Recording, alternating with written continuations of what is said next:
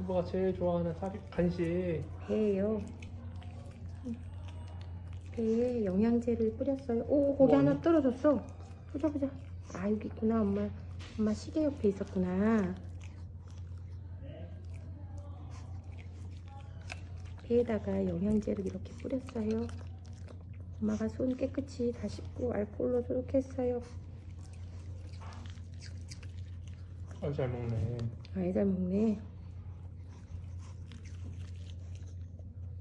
저기 오줌은 잘 누는데 똥을 안 누고 있지 지금. 올라갑시다. 네, 감사합니다. 네, 선생님 아직 변을 안 봤대요. 네.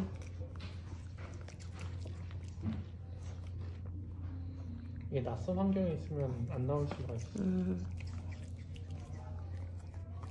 어이구 하나 떨어졌다. 엄마 옷에 떨어뜨렸나? 먹으려고 그냥. 먹자.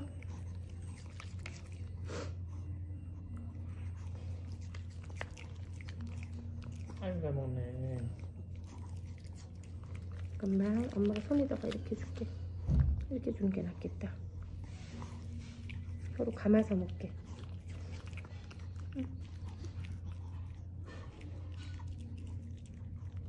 어휴 뿌리면 안 돼. 높이가 안 맞지? 응. 응, 엄마가 잘못했어. 잠깐만 줄게 줄게. 응. 팔을 들지 마 피나.